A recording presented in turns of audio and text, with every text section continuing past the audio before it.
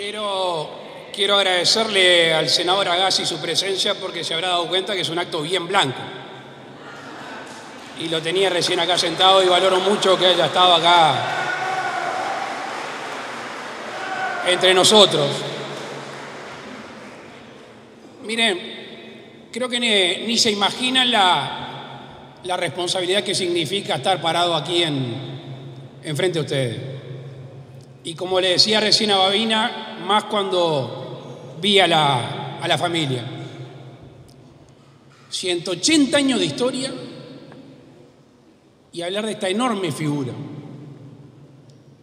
Miren, en realidad, saben los que me conocen que esto lo tomo como una obligación más, en el entendido que en los que estamos en la actividad política, a medida que vamos creciendo, tenemos más obligaciones y menos derechos.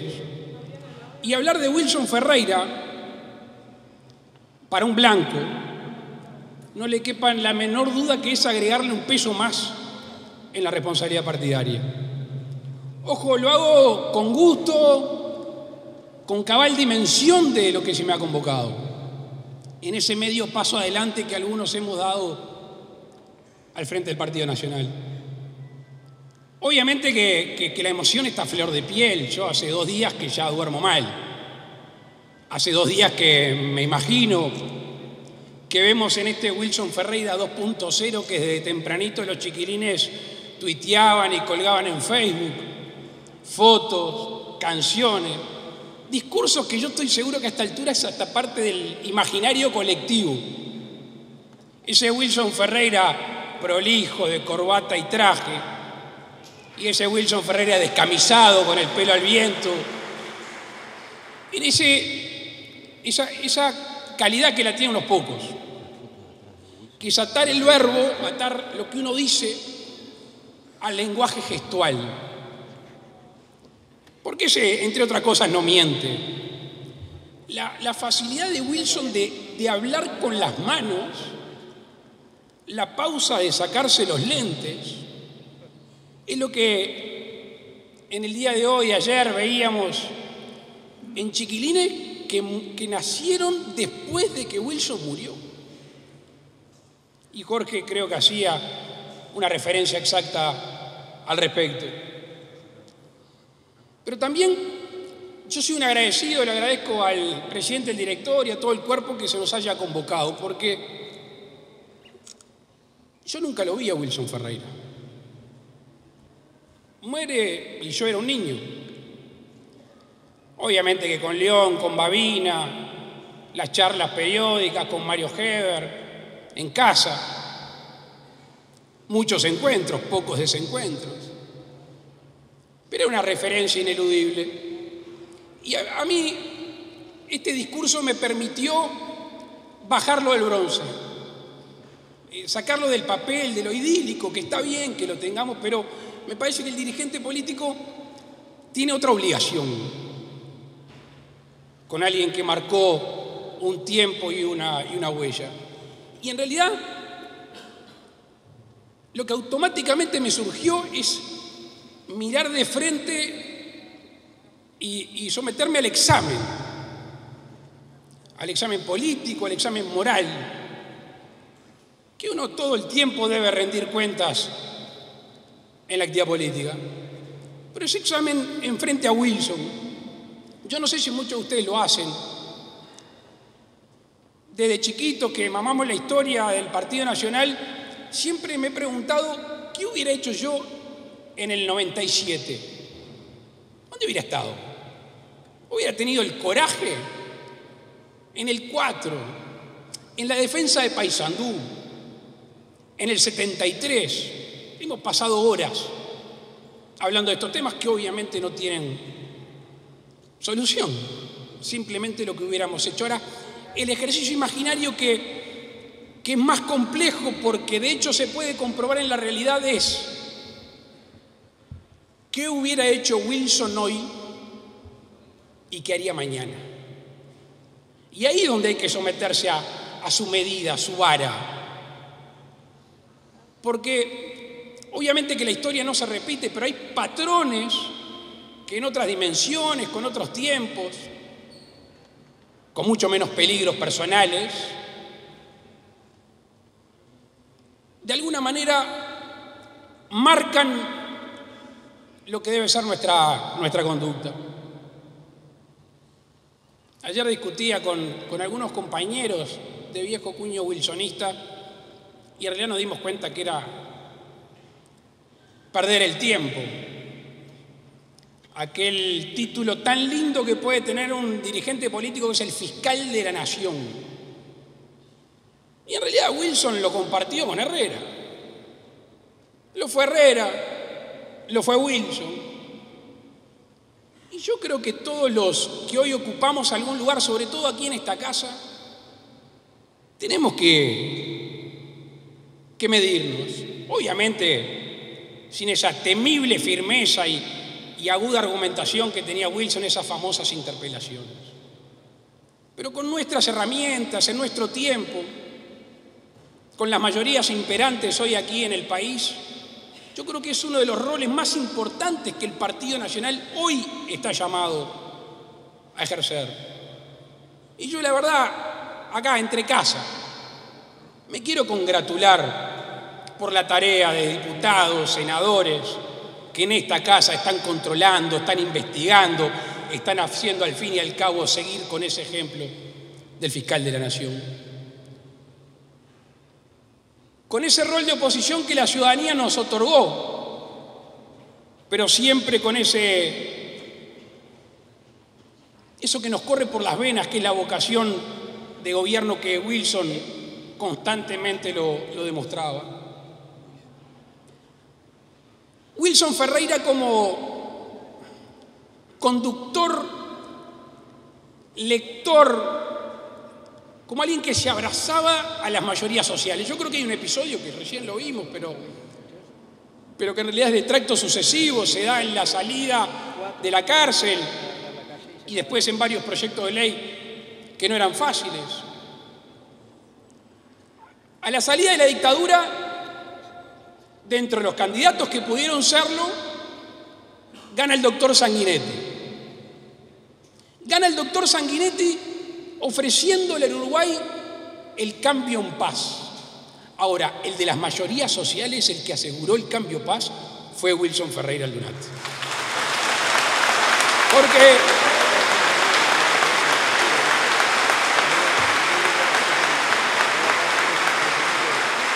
Porque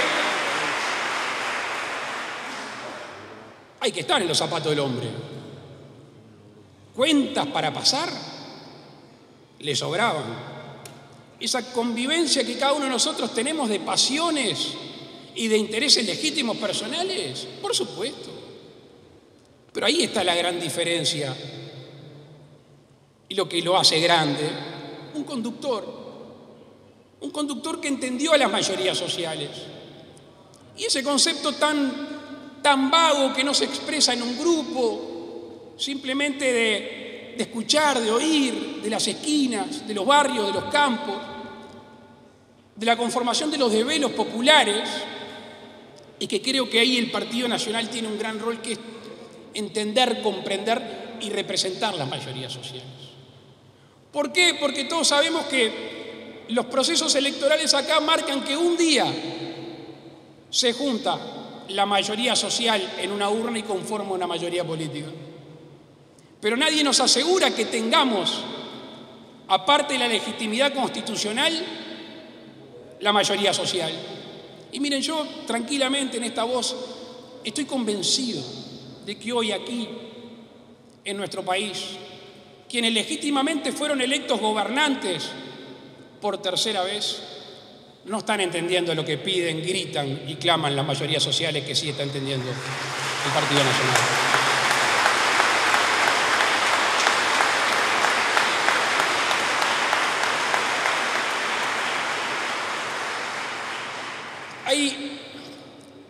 Hay, otro atributo que, que este sí que es más complicado. Hay que tener mucha seguridad en sí mismo, saber quién se es, de dónde se viene, hacia dónde va. Que salir de la mediocridad. Siempre es más fácil juntarse con mediocre.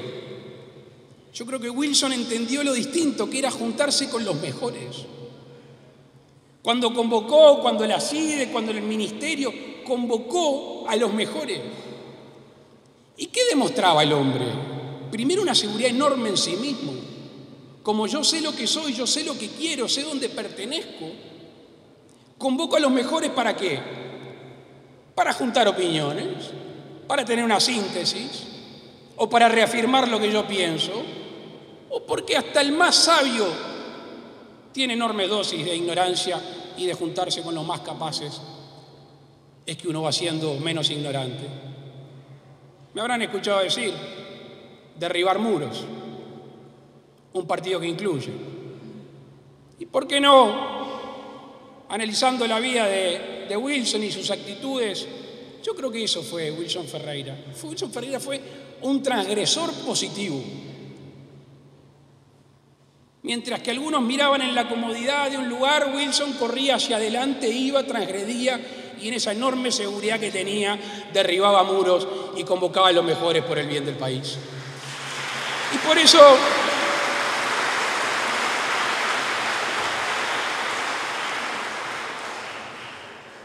Por eso es que nosotros creemos en estos tiempos convulsionados que se viven, de guardia alta, de dientes apretados, me parece que hay que volver a nuestros orígenes.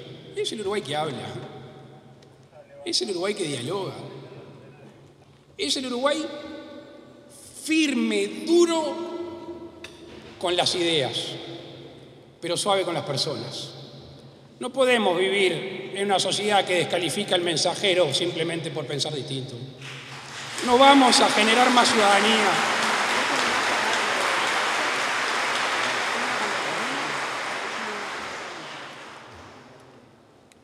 Yo no recordaba de dónde este, este concepto que, es tan duro, que, es como un aguijón que, creo que se, clava en nuestro, en nuestro corazón y en nuestra mente, que a mí no me cabe la menor duda que, que Wilson Ferreira nos enrostraba con eso, pero también se lo decía a sí mismo, se miraba al espejo.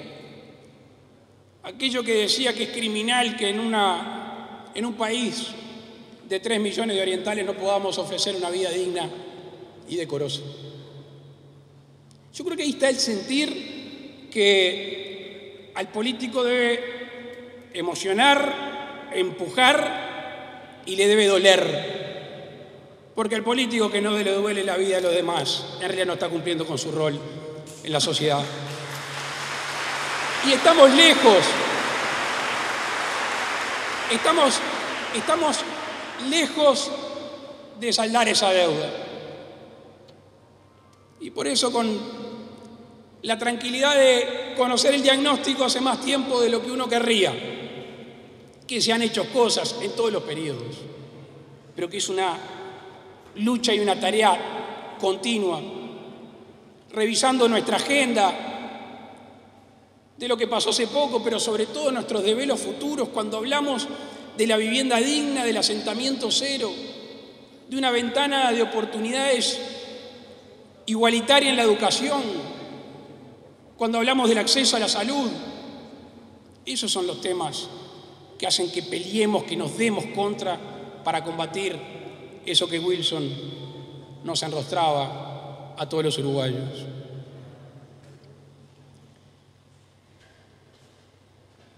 Quiero citar un episodio que me contó mi padre. ¿Saben los que me conocen que no, nunca digo mi padre, digo la calle?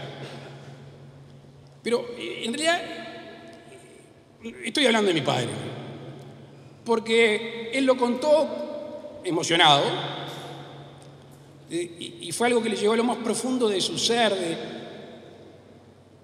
ese caracú nacionalista y blanco. Y, cuesta no emocionarse con, la escena de Wilson deteriorado físicamente, pero como una fortaleza interna. Y, cita a mi viejo con Dardo Ortiz a su casa. Y, parece que, según mi viejo, porque era muy coqueto y, estaba emocionado, mira hacia la ventana Y queda Ortiz y la calle ahí, y, le dice, se dio cuenta de lo que venía, ya sabía. Este, le dice, cuando yo no esté, no se peleen. Y vaya si hemos cumplido con eso. Vaya.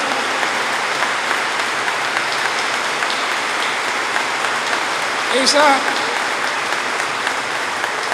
Esa. Esa, esa, esa, esa a mí me llena de orgullo. Y estar Jorge y yo acá en este estrado, pero podríamos ser mucho más. Pero lo más importante es que hoy fueron Luis y Jorge, pero lo que tenemos que asegurar que en el futuro sea la, la generación de estos chiquilines. Porque la unidad ni se esgrime, ni se habla, ni se escribe, se practica. Se practica a diario. Se practica. Se practica.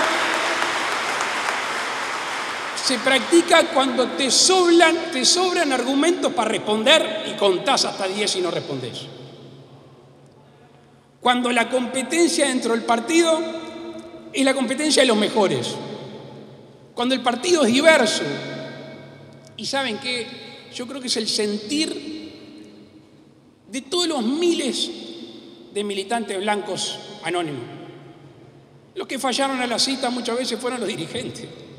Pero la historia del Partido Nacional es una historia de diversidad y de unidad. Y nosotros eso lo tenemos que cuidar mucho.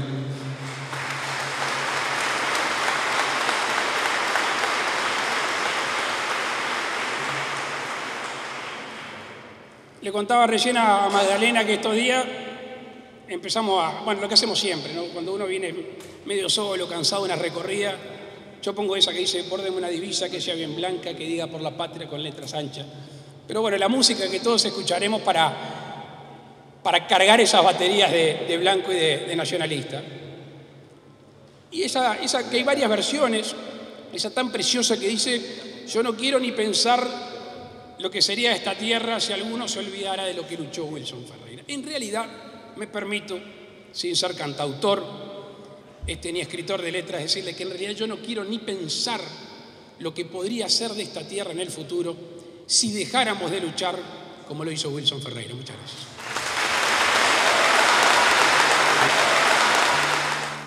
Yo no quiero ni pensar lo que sería de esta tierra si alguno se olvidara lo que luchó Wilson Ferreira. En los momentos más duros no era todo oscuridad, estaba su luz potente clareando la libertad. Hoy seguimos marchando, todos unidos, todos unidos, porque van adelante. Los que se han ido, los que se han ido huella de un tiempo vamos andando, vamos andando.